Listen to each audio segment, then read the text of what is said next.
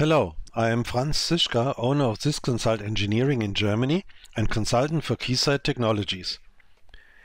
Based on the other video of this basic device modeling series, which was covering RF capacitors and resistors modeling, I will now extend the topic to RF spiral inductors and show you how to develop a SPICE model based on verified S-parameter measurements. A step-by-step -step flow of the model development will be demonstrated, together with explanations about how to get accurate and verified modeling results, as well as best practices.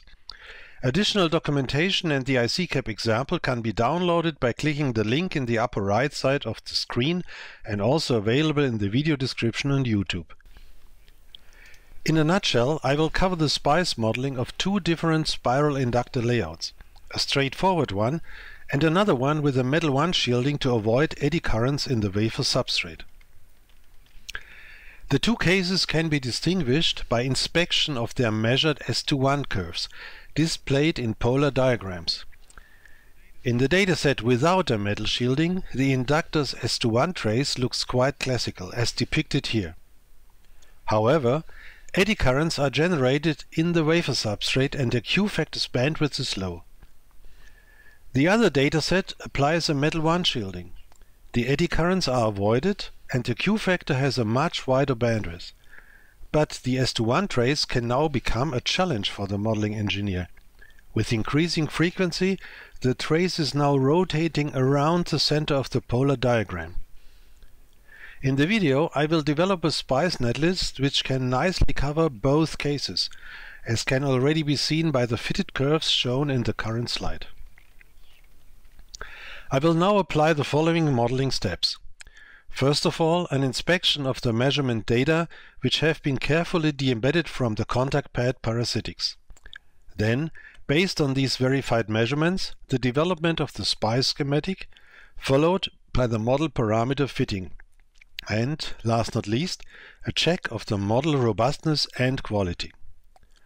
All these steps are implemented in the provided ICCAP example. Let's begin with the data inspection of the inductor example without the metal one shielding. For lowest frequency, the inductor behaves like a short. The yellow frequency marker in the Smith charts of S11 and S22 is located close to the center, what means we look through the inductor to the 50 ohm impedance of the opposite network analyzer port. This is also visible in the polar diagrams of SXY, a short between the ports. When the measurement frequency is increased, the traces roughly follow half circles. The impedances in plots S11 and S22 increase considerably, and the transmission in plot SXY tends towards zero. Finally, the self-resonance frequency, which is the frequency at which the inductor becomes capacitive, is about 16 GHz. In most cases, a pi schematic-based SPICE model is applied for inductor modeling. The de-embedded S parameters are converted to Y parameters from which the pi schematic impedances can be obtained easily. The impedances Z10 from port 1 to ground, Z12 between the ports, and Z20 from port 2 to ground will be the starting points for the modeling. The dominant vertical pi schematic branch, represented by Z12, exhibits an inductive performance with a reduction in resistance even into negative values for highest frequencies. The two branches to ground, Z10 and Z20, represent each a capacitor with frequency-dependent resistive loss. But let's go step by step and begin with some studies about the dominant impedance Z12. The first and of course most important component is the inductor L main. In the impedance plot Z12, the trajectory of L main represents a straight line along the imaginary y-axis. Its length is determined by the inductor value. Any real, existing physical inductor exhibits also resistive losses, represented by R main. And this series resistor shifts the inductor trajectory to the right. The resistive part of the inductor is affected by the skin effect, more resistance at higher frequencies. This is modeled by the components R-skin and L-skin in parallel to R-main. And the impedance trajectory of Z12 gets a kink at low to medium frequencies. The real part of Z12, interpreted as R main star, clearly shows the change from low to higher resistance, while the imaginary part, interpreted as L main star, shows a slight drop with increasing frequencies. This ends the raw modeling of the port 1 to port 2 transmission properties. The next step is the modeling of the losses to ground at each port. From the previous data inspection, we already know the lossy capacitor behavior modeled by a capacitor in series with a resistor. The impedance trajectories of both branches are shown here. In reality and pretty typical for on-wafer devices, the losses represented by the resistors are frequency dependent. Therefore, in our SPICE model, the resistors R10 and R20 are shorted by capacitors and as a consequence, the trajectories in the impedance plot tend towards zero at high frequencies. Let's now start the discussion of the third part of an inductor modeling, the modeling of distributed effects. As mentioned at the beginning, we will consider two cases.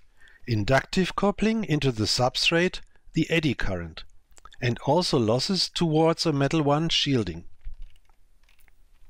We begin with the eddy current, represented by the SPICE components R substrate and the coupled inductor L substrate.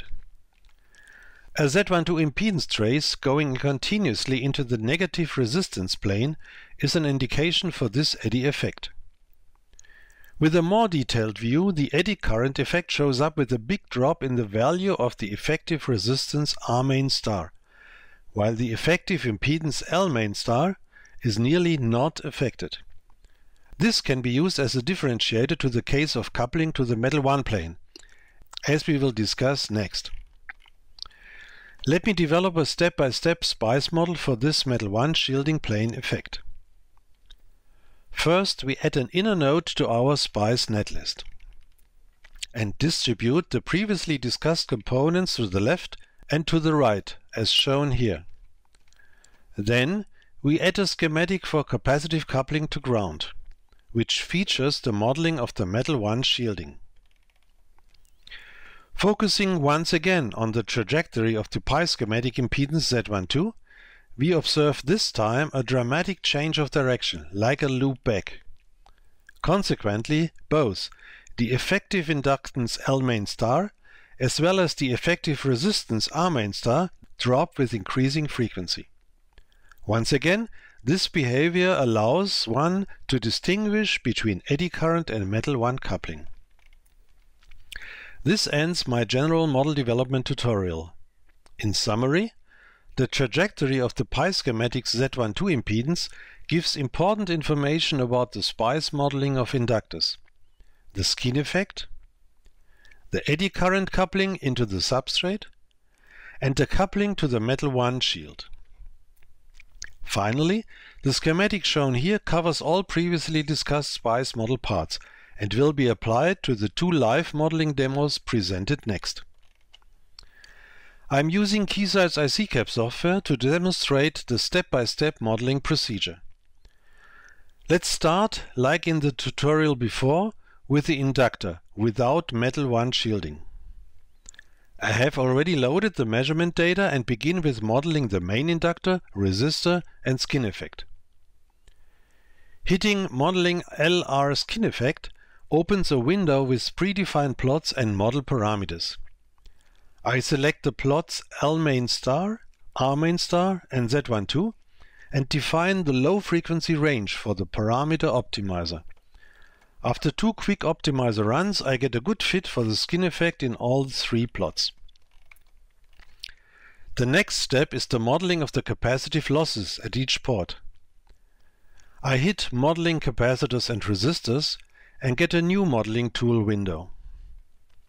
Inspecting the plots C10 and C20, I first tune the capacitor from port 1 to ground, C10, and then capacitor C20 from port 2 to ground.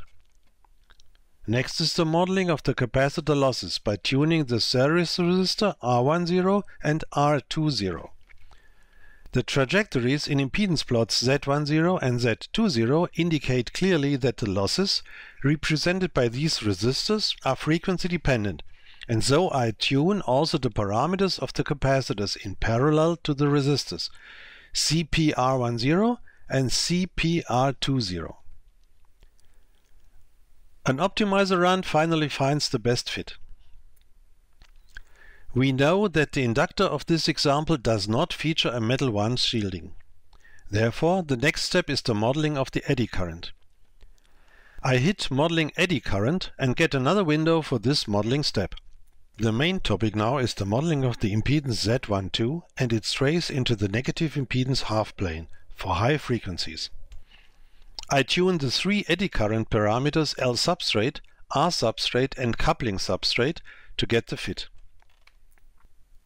The final result after optimization of all model parameters is shown here. The measurements are in red, while the simulation results are in blue. We see the S parameter fit, the Q factor, and the components of the SPICE PI schematic. As a best practice, I want to verify now the model behavior for all types of port terminations. This is especially important for verifying an inductor model because it will not be used only in a 50 ohm environment. I select Model Quality Verification in the ICCAP project. Among other tests, I select the item Display Port Impedances, which shows port 1 with port 2 shorted, and port 2 open. Then the opposite, looking into port 2 with port 1 shorted and open. And finally the impedance between the ports for differential and common mode excitation. The same ICCAP modeling project can also be applied to the other example mentioned at the beginning, a spiral inductor with metal 1 shielding. And here are the results. Once again, we see the S parameter fit, the Q factor, and the components of the SPICE PI schematic. Finally, the model verification against different port terminations and operating modes. With all verifications performed and successful, I am saving the model and also the different fitting plots for documentation. This ends my demonstration. To summarize, we covered how to develop a schematic for spiral inductors out of measurements.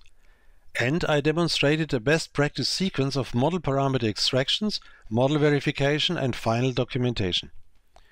You are invited to download the two ICCAP model files used in this video example along with a step-by-step -step how to do manual. Thank you and don't hesitate to contact Keysight Technologies for more information.